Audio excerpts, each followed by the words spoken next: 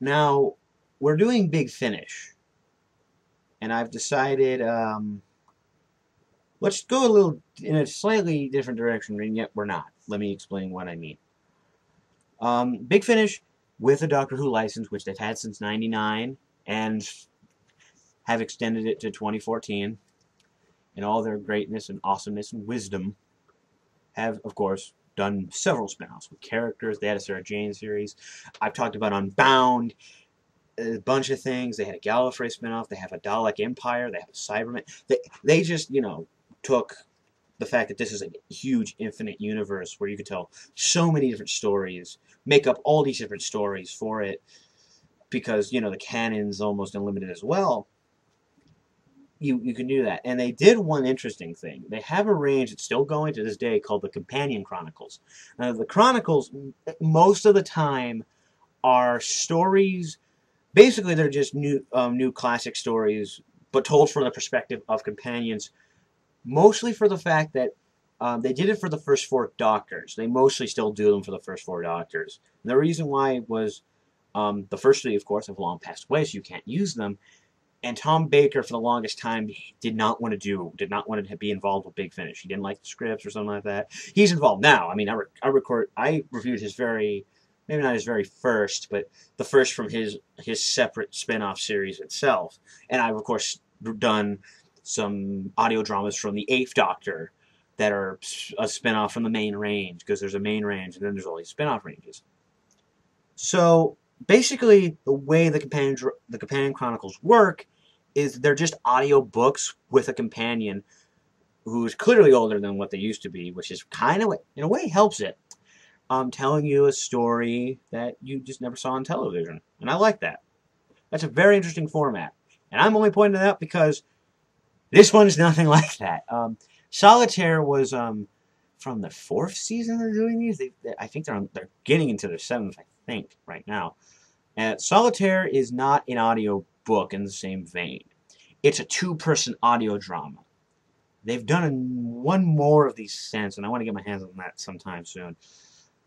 And I just want to get this because it wasn't like them. I wasn't sure if I'd get used to it. I'm used to it kind of now because I've gotten a, a handful uh, since, thanks to various deals and other ways, legal ways. I didn't. I can't do torrents. Uh, this is another Celestial Toymaker story. It's in the Eighth Doctor era with a character that we talked about in Zagreus called Charlie Pollard. Um, and this is a... Okay, here's the thing.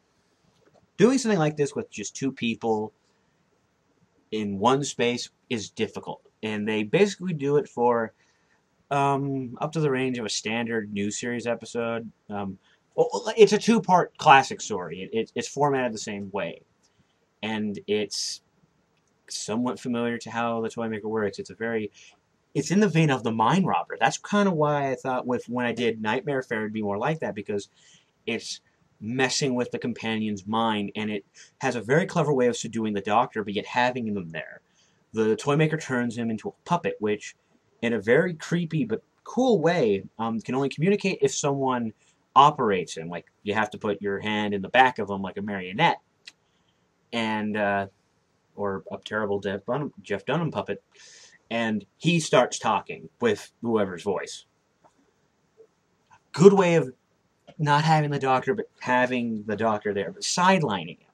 I and and make this idea work because uh, again the format the doctor's usually in these stories just you know of course told from the past tense point of view. Here, they basically figured out a way to do um, a side story in an era they've already done themselves, because Charlie Pollard is solely a big Finish character. And it's a simple thing. The toy maker forces her to play a game before his shop collapses and destroy, just destroys them both.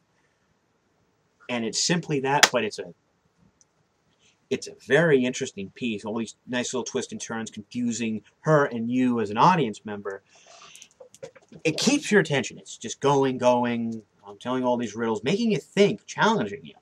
It, it, it, it's a very slightly surreal piece, carried by very strong actors. India Fisher, who plays Charlie's great. And again, David Bailey's great. They both work off each other well. Um, this I recommend. This is a very, it's very short, very good story.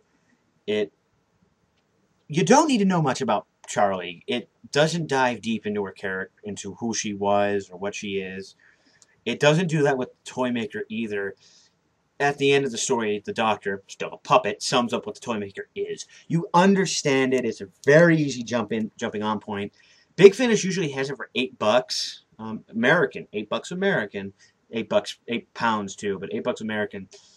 Um, and you know, Big Finish is always having sales. They're not having the one that they currently had for this, and I already owned it. Um, this is a short review, but uh, it's a very interesting, very fascinating story that I can't spoil because a, it's filled with it's filled with um, a very finite amount of detail, so I can't do much with it to tell you.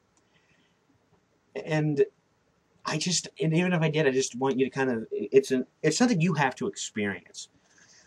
All I can tell you is it's great, it's interesting, its setting's great, and there's good acting in it. It's a very nice two-person play.